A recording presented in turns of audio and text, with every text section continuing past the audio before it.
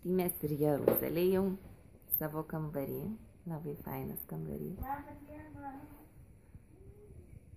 Na, važiavom labai toli, ilgai, dykumom, privažiavom pagaliau. Ir čia buvo iš tikrųjų taip užtrauktos užuolaidos. Aš buvau nuėjęs į balkoną parūkyti, tai dėl to atitraukiau. Bet šiaip iš tikrųjų, vat, kaip įėjom, tai pirmas įspūdis, galvom, oh, koks gražus kambarys.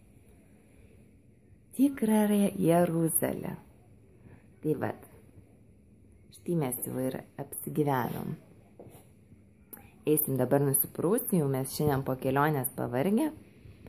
Pasidarėm iš tikrųjų į Nazaretą, nebevažiuosim, nes labai tolimas, kai, nu netolimas iš tikrųjų kelias, bet kai važiuoti tom dykumom, tai nusprendėm, kad tas ir 150 km gaunasi 2-3 valandas, tai mes tada Jeruzalėje, kai yra labai daug lankomų vietų, tai mes galim ne, nespėti visas aplankyti, o paskui tamsoje reikės važiuoti per dykumas, tai nusprendėm į Nazaretą nevažiuoti.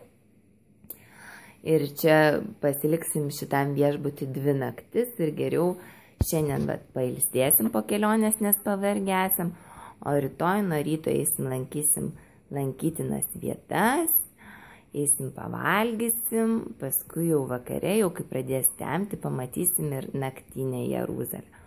O kitą rytą, Ronaldai, Ronaldai. Ką?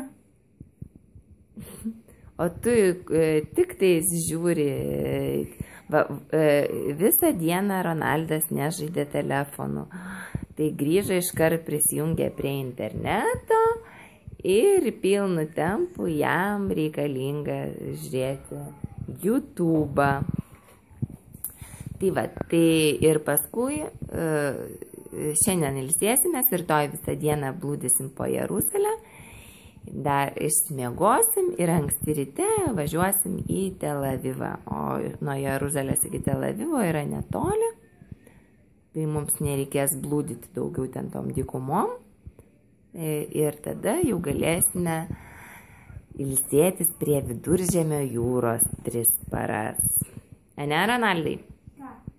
Sakau, galėsim jau, kai išvažiuosim iš Jeruzalės, važiuosim į Tel Avivą ir ilsėsimės tris paras prie viduržėmio jūros, ne?